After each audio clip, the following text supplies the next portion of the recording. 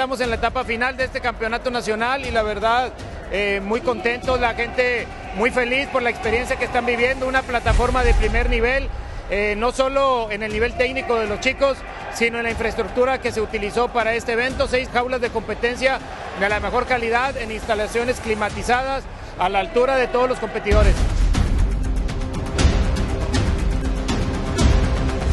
Totalmente bien organizada, muy buenas.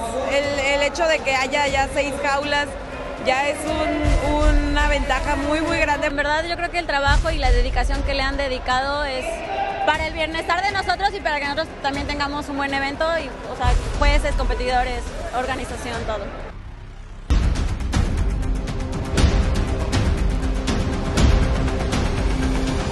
Compitieron alrededor de 700 competidores de toda la República, estuvieron aquí presentes el día de hoy para poner a prueba su nivel técnico, el cual fue increíble y estamos muy contentos por la respuesta de todos los estados de la República que tuvieron representación. Y en este caso también del deporte mundial, ya que tuvimos aquí la presencia del presidente de la Federación Internacional, Kerry Brown. Tuvimos por aquí la visita de los hermanos Melissa, la Supermeli Martínez y David Martínez. Sí, estamos en el Nacional de Artes Marciales Mixtas, así como dice, recordando viejos tiempos de cuando peleábamos en, torneos de, de artes marciales mixtas. Y bueno, Meli ya recién contratada por la máxima liga del mundo, la UFC. Estuvieron aquí con nosotros. Próximamente voy a estar debutando en UFC en el mes de septiembre.